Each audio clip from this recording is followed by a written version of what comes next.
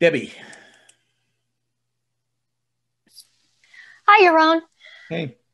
So, um, first of all, I'd like to second that notion about enjoying the risk show and the show about money and these ones where you just take a topic and and analyze it. I really enjoy those shows. So Good. I do too. Um, so we're all on the same we're all on the same side. yeah, yeah, for sure.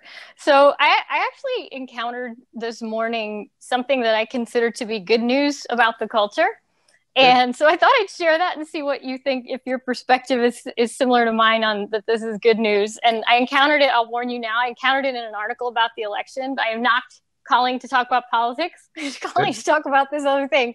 So um, it was in a New York New York Times article talking about why the Biden campaign should be worried, and some progressive some progressives are concerned that Latinos are not going to vote uh, for Biden and that they may not vote at all. And that's in itself is not neither good nor bad, really, I guess. But but why I was just really I thought it was really great. So they said that these progressive pollsters they've done 15 focus groups and a national survey. And and what the article said is progressives commonly categorize latinos as people of color no doubt partly because progressive latinos see the group that way and encourage others to do so as well.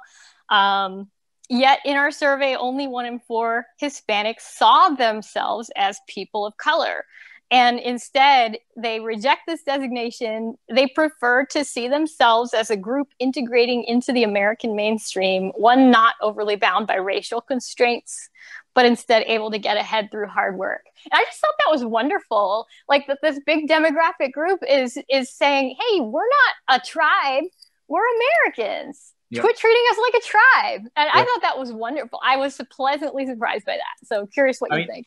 I agree with you completely and I, I think it's true. I've always said this. I, I, I find Hispanics I meet, um, who, who, you know, are hardworking. They're ambitious, whether they're legal or illegally here. They, they, they want to make a living. They want to take care of their families.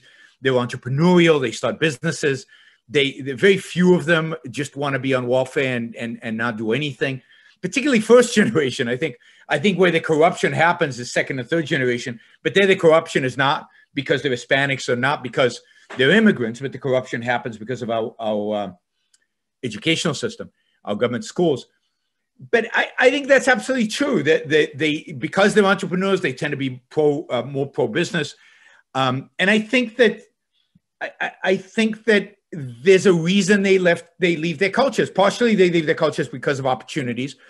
But think about if there's five million people in Guatemala, why do the these hundred thousand people leave and the, the rest stay? And it's because the people who leave are more ambitious, more independent, braver, more courageous.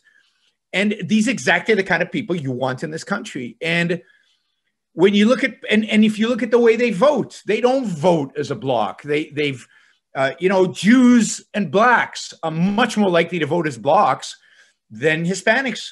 Uh, indeed, Hispanics like Cubans vote uh, Republican in Texas.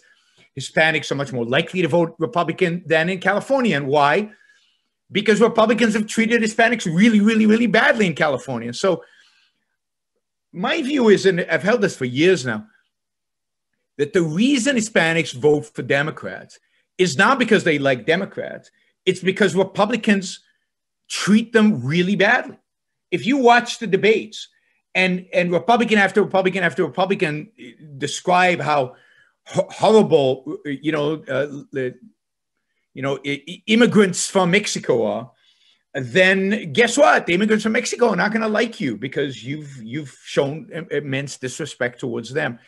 Um, in places like Texas, where Republicans have, have treated uh, immigrants from Mexico and other Latin American countries with respect, they have gotten their votes. Uh, they tend to be, uh, you know, unfortunately, they tend to be religious, but but they tend to be conservative in their in their social views. They tend to be uh, pro uh, small business, at least. Uh, you know, they tend and they tend to assimilate. Every study I've seen shows that they assimilate just like previous generations of immigrants. There's no difference between Hispanic immigration and the immigration of Irish and Italians and and Jews in the late 19th century, early 20th century in terms of their assimilation.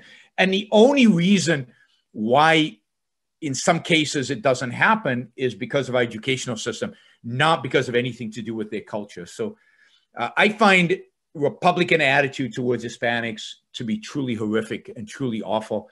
And if only they lightened up, uh, I think they would get a lot more of their votes. Uh, whether that's good or bad is a different question, but I think they'd get a lot more of their votes. So um, so I agree with you. I think it's a it's a good sign uh, that that maybe even some progressives are realizing that uh, they shouldn't treat everybody as groups. That these people are individuals and they want to assimilate. They want to become Americans.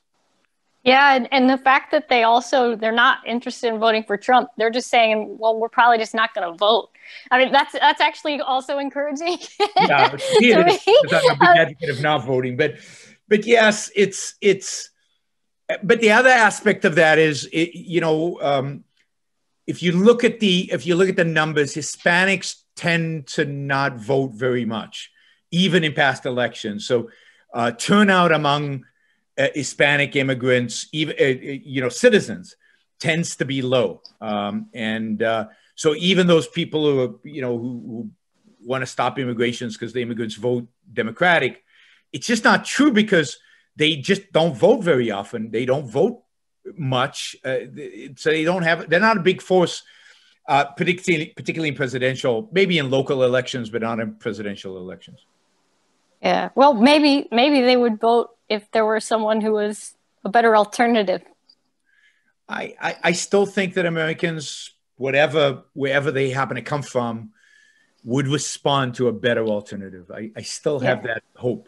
I hope I'm right, but but yes, maybe maybe if we had, you know, not an objectivist candidate, but just a candidate who understood something about America and something about individualism and something about markets, I think that I think Americans would rally around a candidate like that. Unfortunately, not last election, not this election. Um, I'm I'm I'm hopeful for the future, but but partially depends on what happens this election. What we need today what I call the new intellectual would be any man or woman who is willing to think. Meaning, any man or woman who knows that man's life must be guided by reason, by the intellect, not by feelings, wishes, whims, or mystic revelations. Any man or woman who values his life and who does not want to give in to today's cult of despair, cynicism, and impotence, and does not intend to give up the world to the dark ages and to the rule of the collectivist brute.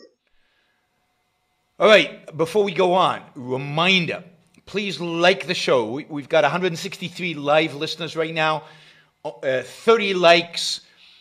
That should be at least 100. I figure at least 100 of you actually like the show. Maybe there are like 60 of the Matthews out there who hate it.